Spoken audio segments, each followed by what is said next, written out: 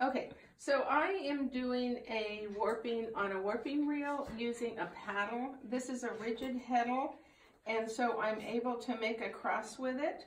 So I have um, 10 cones there, and so I will be winding 28 yards.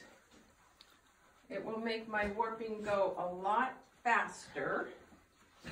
But it's important because I'm using a rigid heddle to make a one-on-one -on -one cross. So when I get to the top up here, I have my rigid heddle. I'm going to go down and then up. This makes my cross. Now what's important is that you have to keep this always on facing towards you. So then we're gonna go up and then down and that gives me a cross here. And we're going to go back down. This time it's coming from the front. So we're coming down, down.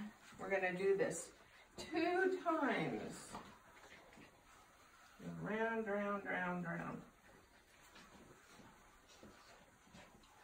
Down. And again, it's really important at the bottom that this is still facing us, so it goes around, still facing us, never turning. If you turn it, then you'll have a, uh, a tangle. No tangles. Come straight off, gonna go back up, and up, and up, and next time around, we're going to go again down, and up, around, and up, and down.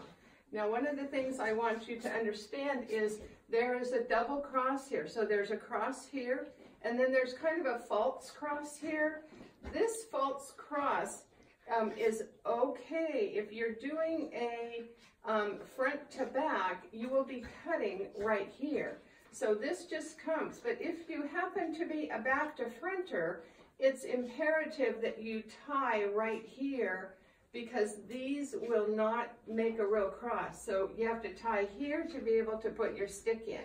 And then remember to tie your cross right here because this is the real cross. And then we go down again.